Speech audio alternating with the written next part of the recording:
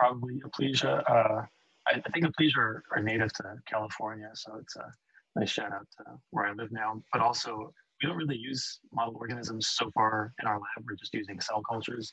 Um, but if I could get the chance to work with a model organism, I think it'd be great to like, you know, go back to where it all started and, and do some basic electrophysiology experiments on uh, Aplysia.